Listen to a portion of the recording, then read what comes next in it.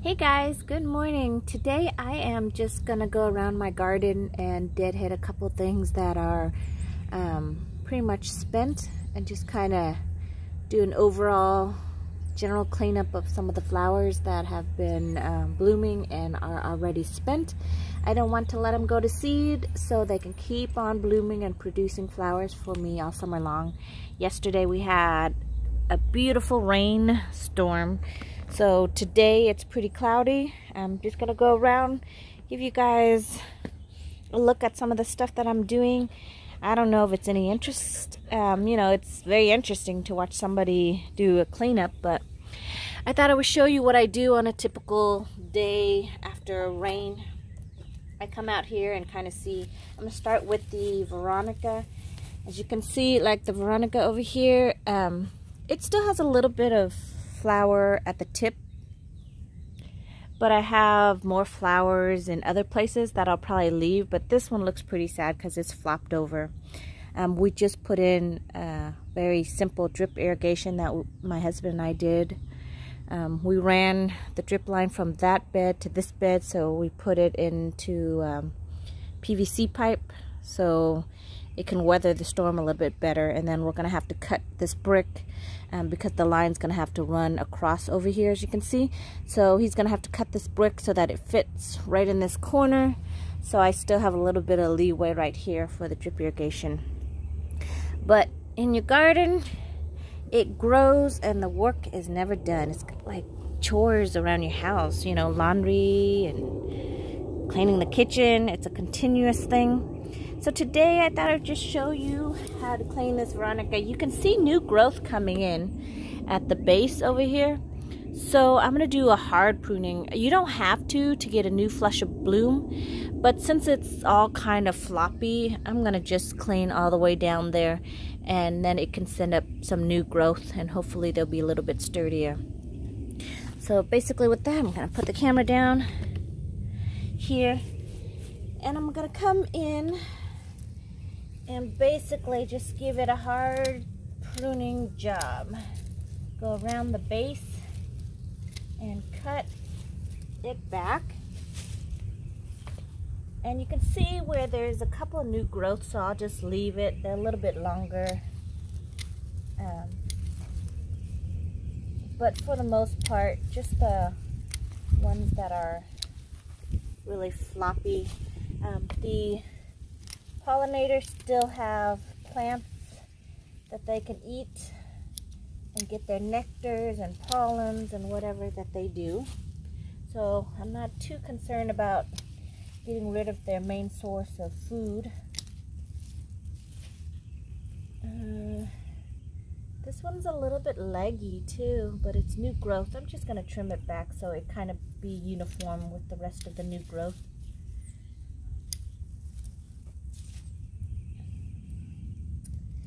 I hope you guys are having a wonderful day. I garden in zone 8A, uh, Georgia red clay, but of course I amended the soil.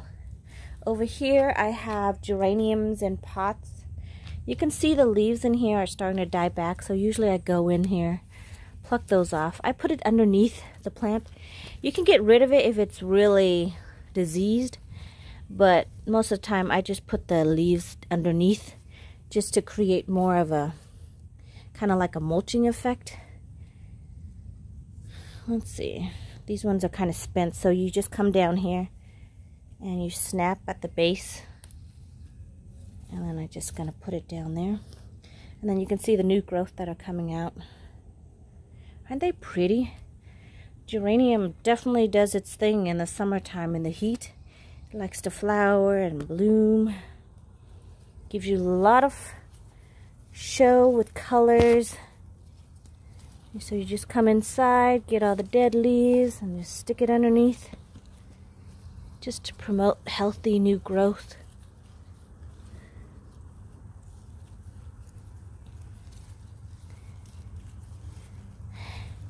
I would have actually started my cup of coffee in the morning times and then what I usually do is walk the grounds, the flower, look at them, that's the beauty of gardening. You have your own flower shop almost, so you can come out and look at all your flower. Um, over here, I think I'm going to leave this Veronica just because it hasn't really flopped and it's still kind of young. Um, so I'm just going to leave it. And then over here, this is coneflower starting to bloom. Isn't it pretty? Look at this color. Isn't that beautiful? So coneflower is super easy and super hardy. Um, definitely one of those plants that can self-seed when the flower goes to seed. I just wait until it feels like it's completely dry and then I pluck it off and then I spread the seed around the garden and then it's pretty much self-propagate, pollinates or self-seeds I guess. Um, you can see my rose standard. They're looking a little bad with all the black spots. There's just no way to prevent them. I mean, you can treat them, but it's still hard to prevent them. They just, they're more prone to it. See, this one I'm going to deadhead this rose right here. Actually, I'm going to do that one back there too because it's growing against my window and I don't really want that. But isn't this beautiful? Look at this flower. You can put it in a vase. Look how pretty it is. Isn't that gorgeous? And um, this is Miranda Lambert Rose. One of the very few that I remember the name. But it does not disappoint me every year. The color is so beautiful. I'm just going to put it on the ground and then I'll come by and pick everything up and put in the trash. So with the black spots issues, you can come by and I'm going to remove them. So I'm putting them on the ground now, but I will remove them. But you don't want to just leave them uh, just because they are like a spore fungus that if you leave them, they just keep on coming. Um, I try to, you know, the standard, you'd think that it would be tall enough that it can't reach it, but for some reason it always does. It always gets to them. I wish there was a way you can prevent them because they do make your plants look a little tedious. Here's another one I'm going to deadhead right there.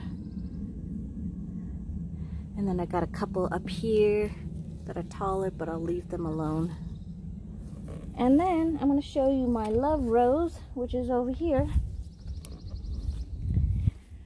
Aren't they pretty? But you can see a lot of them are spent.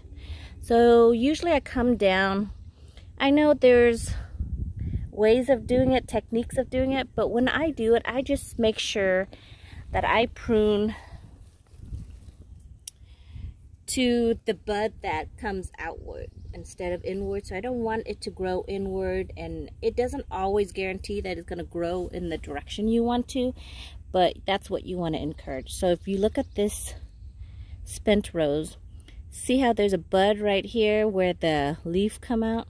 So that one's going inward. So it's pretty much, if I cut it here, it's going to probably scent a growth coming this way. So I don't want to do that. I want more the one down below where it's coming out this way. So I'm going to just cut it right here.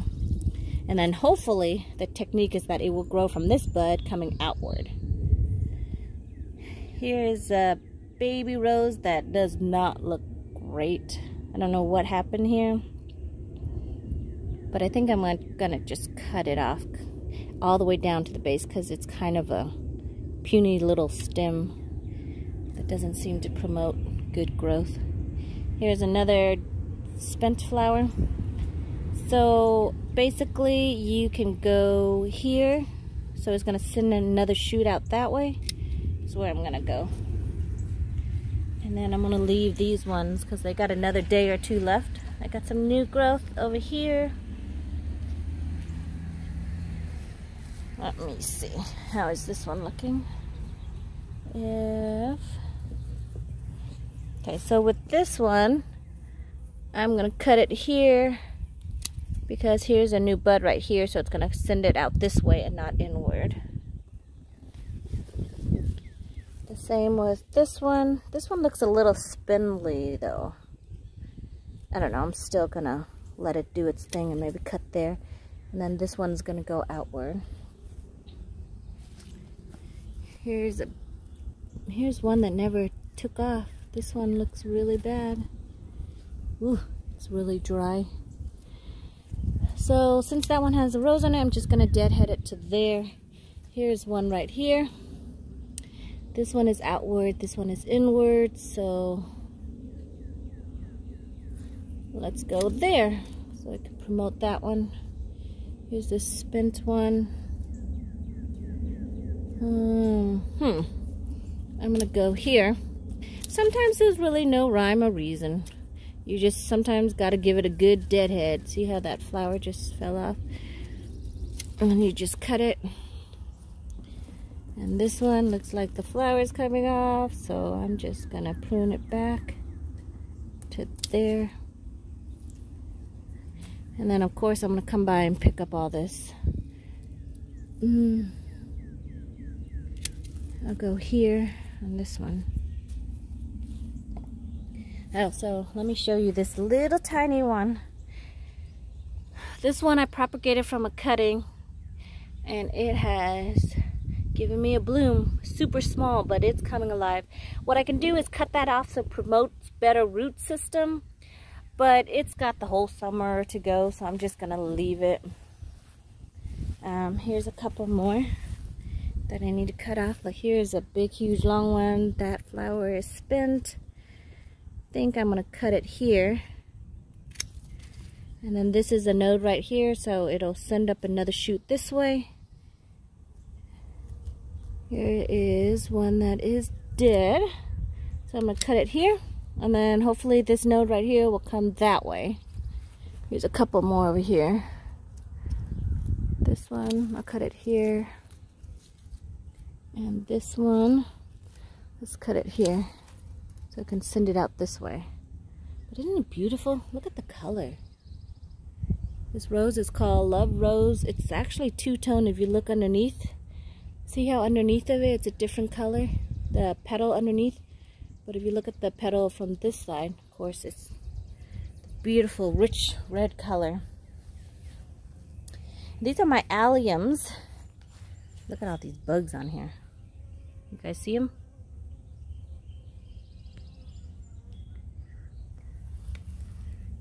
I don't know what kind of bugs these are. But looks like they like sitting on top of my alliums. So the alliums are really pretty. Look at the color and the contrast. So you got some that are barely starting to flower. This one all the way to ones that are flowering. But isn't that cool how it starts up with the tip? Like the tip of it will start to color purple and then the whole entire bulb will eventually get to be like this, like the tip of it. Isn't that pretty? I really want the Globe Master, which is the huge big ones, kind of like you see in Horton Hears a Who, where he says he hears a family or a colony living inside one of those flowers.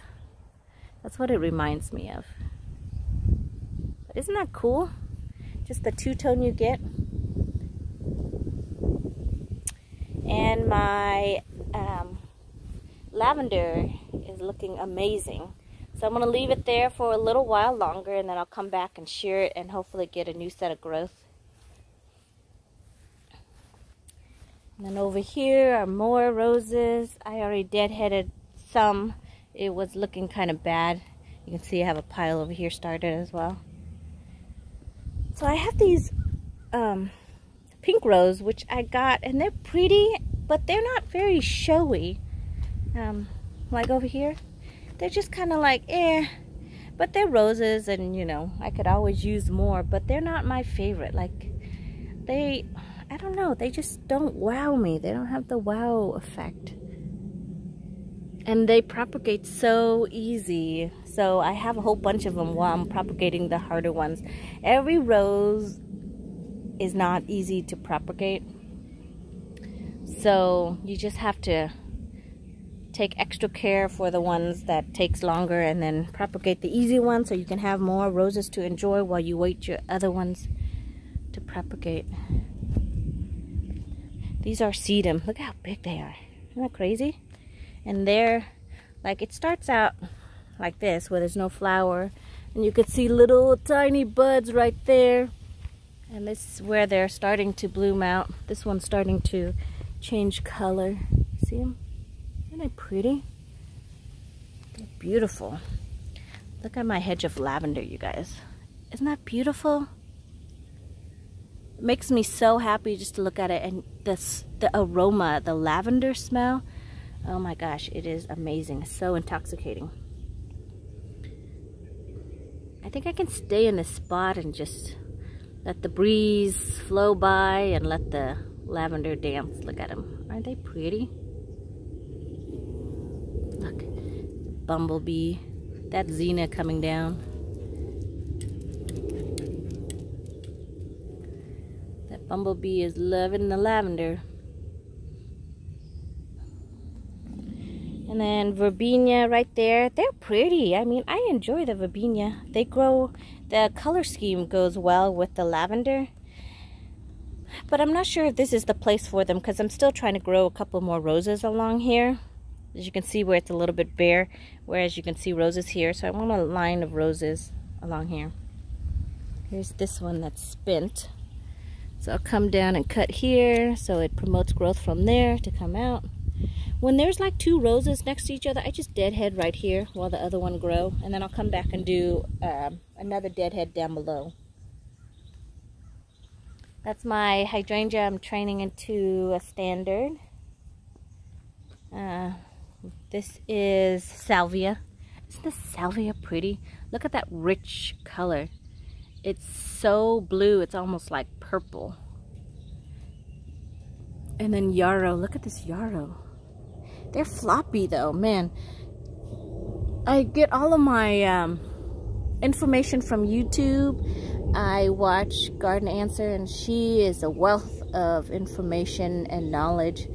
Uh, I think she said yarrow, if it flops, it might be that they're, they're in too good of a soil, which this soil is really good. I amended this whole flower bed because we have Georgia red clay, um, which isn't the best at gardening.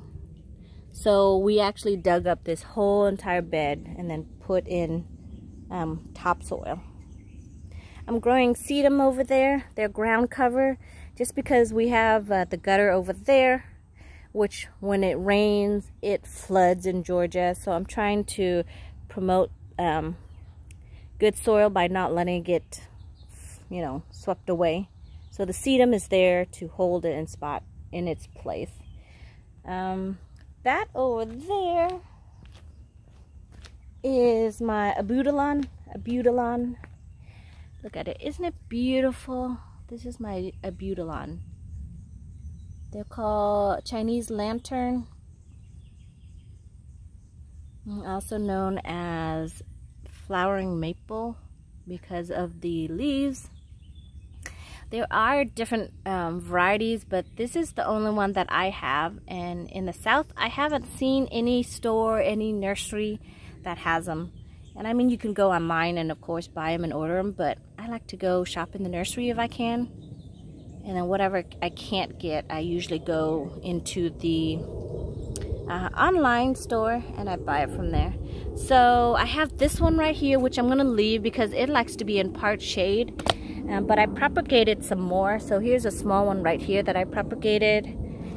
This one I propagated and this one.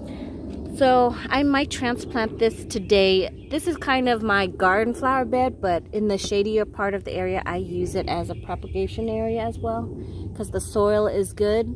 And then I wait until it gets a little bit bigger and then I transplant it out into the main flower bed over there, which has the, um, we, um, actually, um, my husband rented a bobcat and then we turned the soil over here and amended it a little bit but not a lot because to bring in topsoil for this whole garden area bed is out of my price range right now. So we kind of till the ground a little bit put in a little bit of compost um, and then of course put a whole bunch of mulch down over there.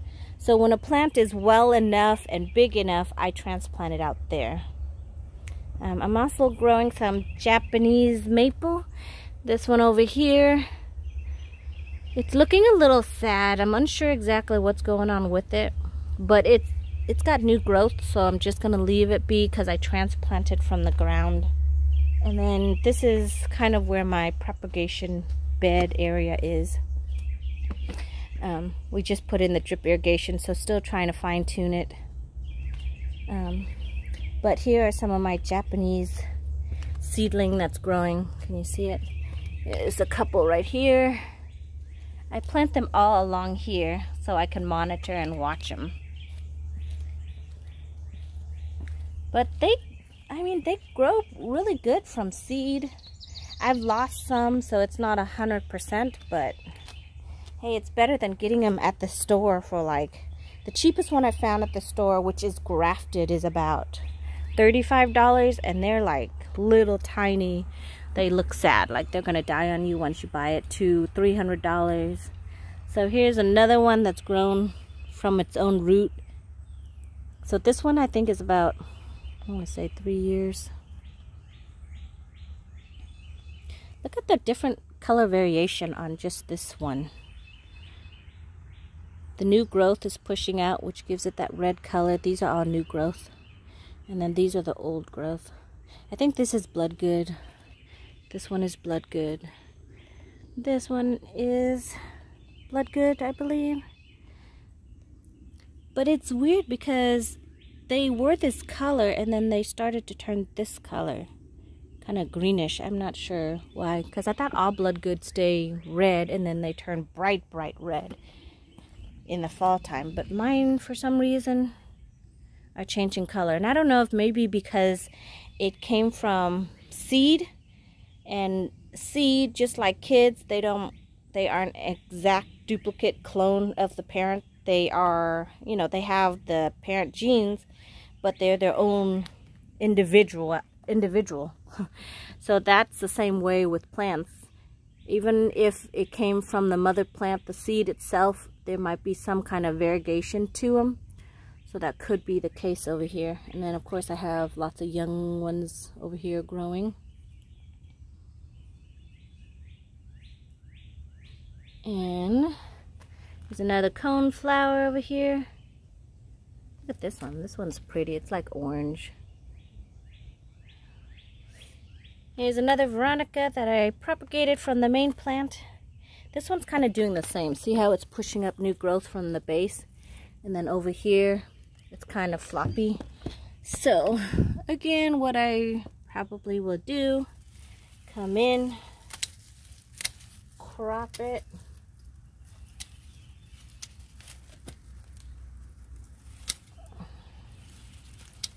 give it a good haircut.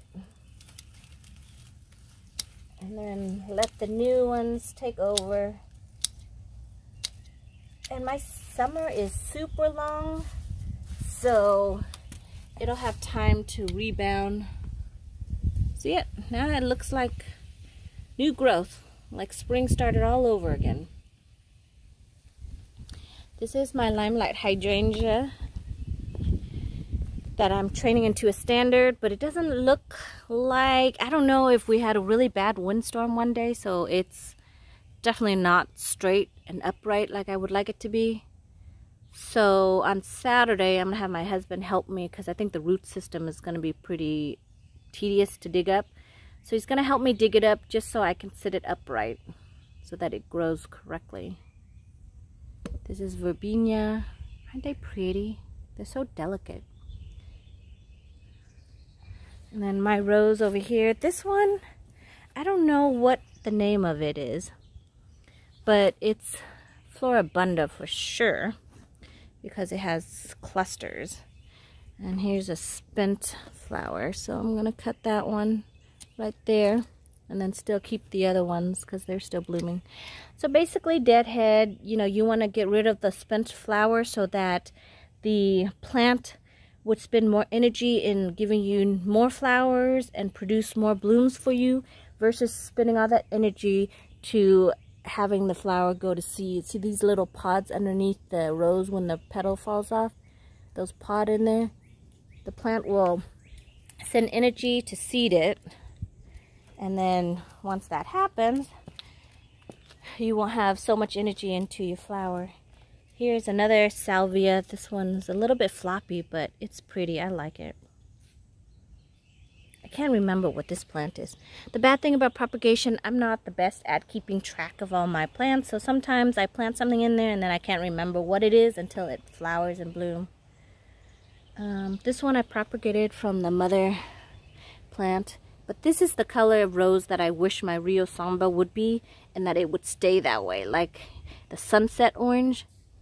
But the Rio Samba, which I did a video on, the Rio Samba in itself is an amazing rose because it gives you all the color and vari uh, variations of different color going from, you know, orange to yellow to pink. And it's just so pretty to have around. If you can have just one rose, I would recommend that one just because it gives you so many color interest. And then this here is my lupine, lupine, lupin. Um, it is ginormous. Like it's actually five feet tall. It's about as tall as I am, and I'm not.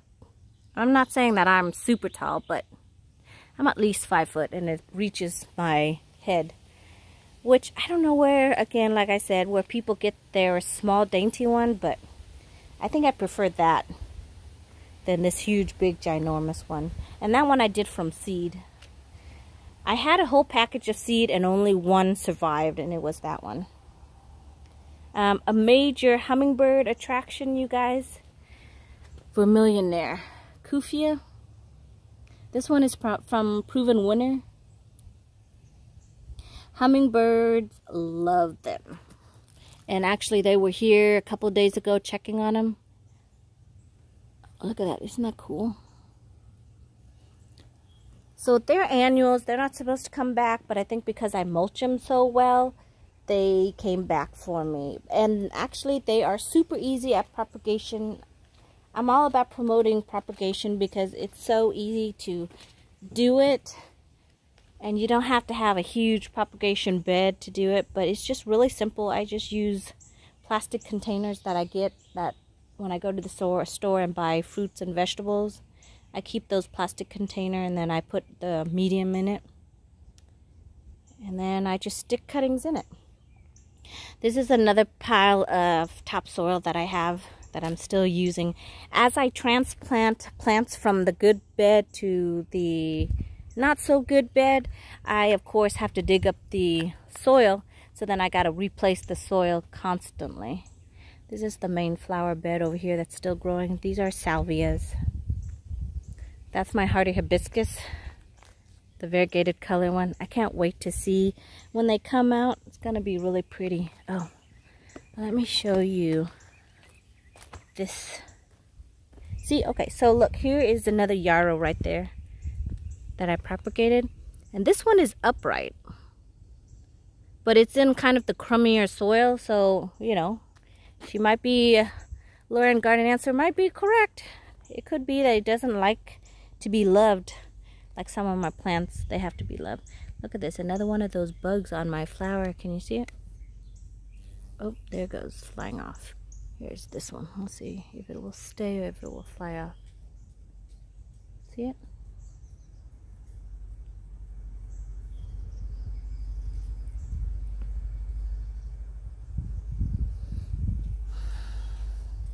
But aren't they pretty?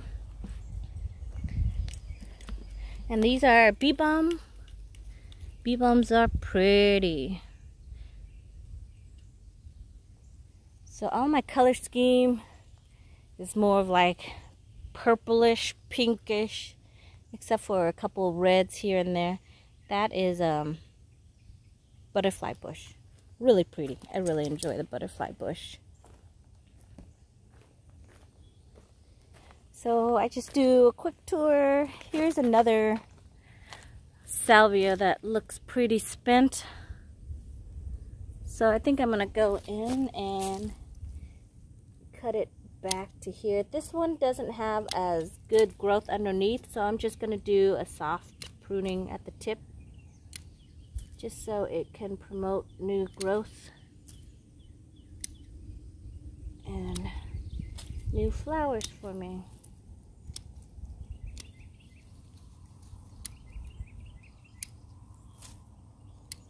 And that's all you have to do to deadhead. It's no, it's not a rocket scientist. You don't, you know, just do it. And then once you get more comfortable with it, it's pretty easy. I just take my pruning shear, do a quick walk, cut what needs to be cut, trim what needs to be trimmed. Look at my calla lilies. Aren't they pretty? This one's really pretty, but it's been eaten up by the June bugs. They are officially starting. I saw three today. Yesterday I saw only one. So I gotta put traps out for them so they don't eat my flowers. This is a oak leaf hydrangea right there. You can see it's starting to bloom and flower. Isn't that pretty? And this one will stay white. It won't change color. See that small abutilon right there? So what I'm planning is when I transplant the other one in the other flower bed, I'm going to put them around this one. So there'll be a cluster of them. Here's more of uh, the butterfly bush. And these are my hydrangea over here. This is the macrophylla, the big mop head ones. Aren't they pretty? They're looking nice and they're coming out beautifully. I struggle with it for the longest time because some people say it needs part sun, but I garden in zone 8A in Georgia. To be honest, it almost needs like one hour of sun and that's about it because even where it's at now which is underneath this huge big tree I can't remember what this tree is. Um, in the afternoon when it gets a little bit of sun from this area because the sun set over here, they wilt really bad. So I have to give it extra water, but I think it would almost be okay if it was in complete shade with just dapple sunlight because they wilt really bad. Look at this. Look how big this one is. Isn't it beautiful? Like almost as big as my head. The blue color is so beautiful. So, so I planted this over here um, because of this huge big tree. It gives so much shade. Most of my other plants require full sun, but we have so much heat and humidity. That's why I guess they call it hot Hotlanta. But it gets so hot, most of the plants, even though it says full sun, ooh, that sun scorched them good.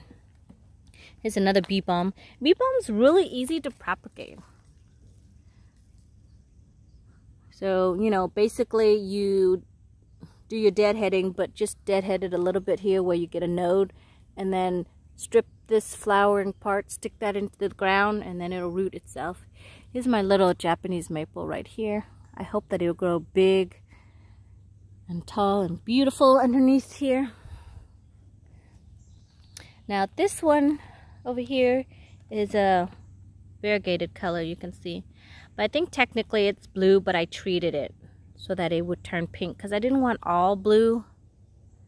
So that's why it's got some pink some blue some in between. Some doesn't even know what color it wants to be but it's still really pretty so gives me different different uh, flowers and colors to look at in my garden. Over here is just by the mailbox. Again, this pink rose. I still can't decide if I really love it. You see it? I mean, a rose is a rose. It's still a rose, and I love rose, but I'm not sure if I'm in love with it. But while I wait for all my other ones that I'm in love with, here's my uh, Double Delight. It's Struggle. It struggled for like, it's been in this flower bed for like three years. I finally amended this flower bed. So now it's actually loving me that's sitting out more than just one shoot a year. Uh, I think this one is um, Pope John Paul or something. It's the white flower. It's pretty. It's very fragrant. But it struggles a lot with the um, black spots. And then this red one, I can't remember what it is, but it's really pretty. More bee balms. Looking at the bee, loving its bee balm plant. And actually the bee balm, this color against the salvia is really pretty. Take a look at it. See it? Like the color coordination. I don't do color coordination. I'm just not very good with it. I don't have the eye for it. But this two color, I think it's really pretty. And then my hardy hibiscus over here gives a different kind of color with its uh, contrast in the leaves.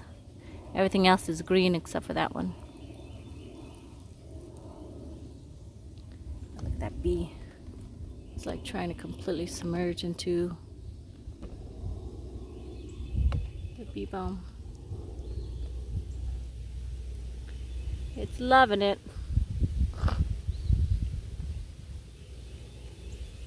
I was actually going to come out and deadhead some of the bee balm thinking that it's done and spent. Look at this weird one. Look, it's like already done and spent, right? But then look, there's like another one inside of it. That's so weird. I don't know if I've ever seen that. Because I think most of them is like this, you know, they flower out and then they lose their little petals and then they just look can you see them like this one? When it loses this pink I don't know what you call them these little pink flowering then it just becomes kind of like a spore spot. But this one it like flower and then there's another flower within the flower. Hmm. Can you see that?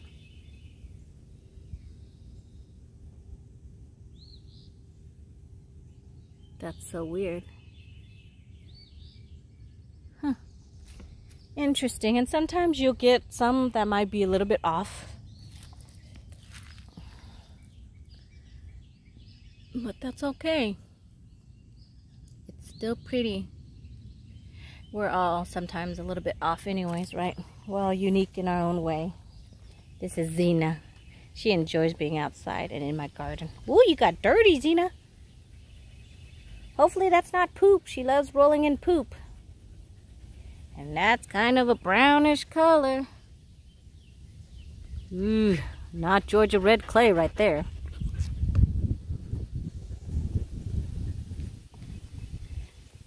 Well, you guys, I think that's about it. I mean, it doesn't look like a lot of things needing to be deadhead.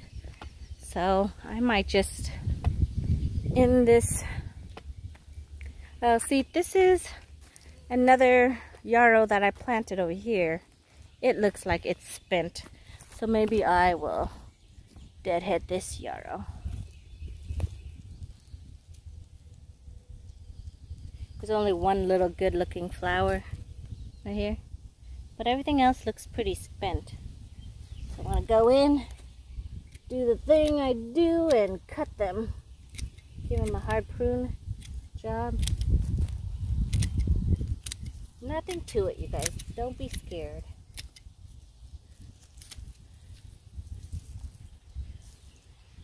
And then as you can see, new shoots are coming out at the base. See it? New shoots are going to come out, replace the ones that I cut.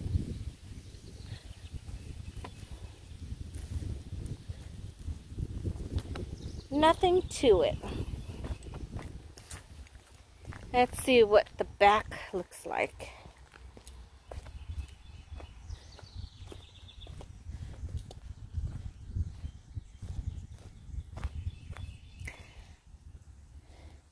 Look at this plant. It's a prickly plant. I can't remember.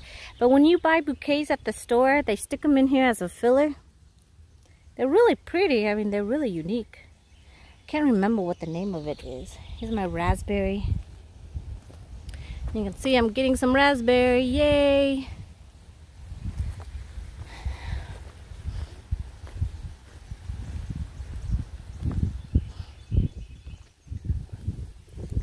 Um, butterfly bush, this one's pretty massive, but not as massive as this one over here.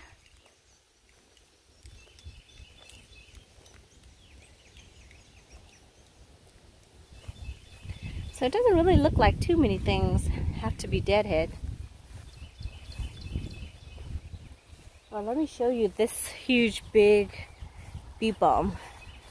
So my name, there are different varieties, of course, of bee balm. The ones that I have in the front where the mailbox is, is like, I think about 12 to 15 inches. The one I have back here, this is where I have my rose, uh, not rose, my apple tree. Oh, look at this. Oh, I'm going to show you that dragonfly, but I think the dog scared away. Look at this bee balm. Like I'm literally standing up and it's like right underneath my chin. So it's almost five feet, but look at it. It's, I think it's red. It's to be red when it comes out. That'll be exciting, but it's so tall. Like, geez Louise, I need like own spot for it. So this area is kind of brand new. Other than planting the apple tree, everything else I just planted this spring a lot of weed in it as well so I have to come back here and do quite a big weed eating festival which I'm not in the mood for. Over here this one is another hardy hibiscus but this is Midnight Marvel which is what the picture of my profile is you guys. It is amazing and I'm actually propagating some more of this so I'm waiting for it to flower and then cut back some and then propagating from there. And then, let's see. So nothing over there needs to be pruned back. What needs to be pruned back is my grass. Look at it. Woo! About as tall as I am. Not really, but this is my pomegranate tree that I planted just like two days ago. This is grapefruit tree looking good and healthy. You guys, I am super excited about this Bloomsweet grapefruit that I purchased from McKenzie's farm in South Carolina. I am super excited. And I also have two more trees that are coming. So I bought fastgrowingtree.com. I bought it actually, I bought it nine days ago and it's supposed to be one to two days shipping. I called them today finally stating, hey, FedEx has not delivered my tree within the one to two days. I called them actually three days ago and they said give it one or two more days and it should come to you and it still hasn't come. And this weekend is a holiday. And I'm like, look, that plant has been in its box for over nine days and no water and no sunlight. Spending that much money, you want to make sure you get it as soon as possible so it can be watered and get some sunlight. So I think they're going to try to investigate it on their side while they send me um, two new ones that I order. And then I think they gave me a discount off of my order because both trees that I purchased was over a $100. So uh, hopefully it will turn out great. It's not their fault that FedEx lost track of the package. At least that's on my end. That's how I look at it because the tree company sent it via FedEx and it got to the FedEx center and then there it's been at that center for like I don't know six seven days. And it still says it's on en route. And I'm like well yeah en route is one thing. Getting to where it needs to be is another thing.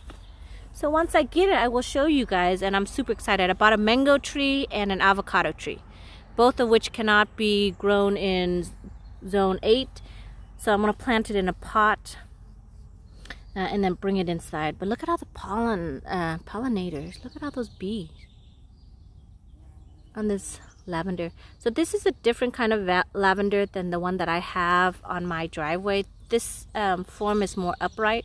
See how it doesn't trail over like the other one uh, previously I showed you by the sidewalk? And then this tall looking um, weed, it looks like weed, but it's actually asparagus. For those of you who don't know what asparagus looks like, they come straight up from the ground and then you pick them and then you saute them mm, or you grill them so good. But I only had like two or three of them so I let it grow so it can get some more seeds. You can see the seed pods on them that's the little flowering thing. Those are seed pods so I'm hoping that it'll self-propagate which it has because I have a couple more over there.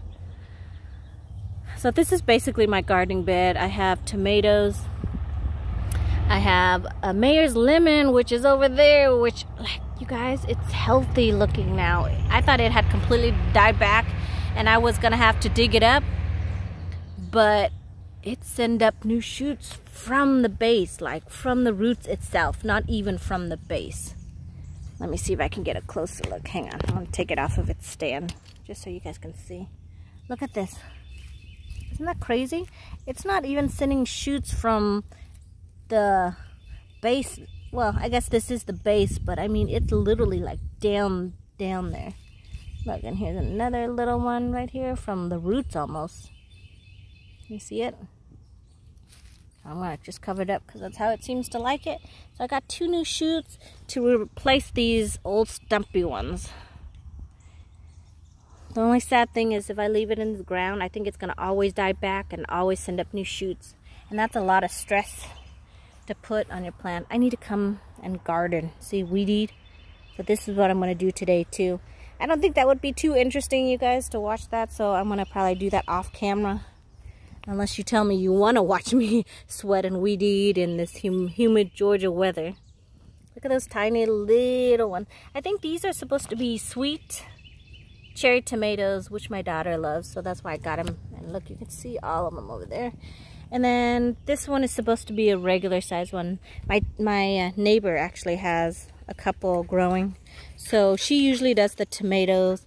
I do the jalapeno peppers the zucchinis and I'm doing of course the lemon and citrus stuff anyways that's about it you guys um, like I said now I'm gonna probably spend most of my time over here you can see where all the weeds are so I'm gonna be out here plucking and doing my thing and weed eating I hope you guys have a great day get out and enjoy the weather the sun is not so bad today so it's pretty cloudy. Oh, let me show you my patio. Here's my patio. Here's my real Samba highlight of all my roses right now. Robina, isn't that pretty? I don't know why they are so big over here, but in the front they are lacking a little bit. This is a navel orange that I purchased at Home Depot. And then another Meyer's lemon over here that I purchased because I thought the one I planted in the ground has officially died on me. It's doing good. Hopefully it'll bear fruit this fall.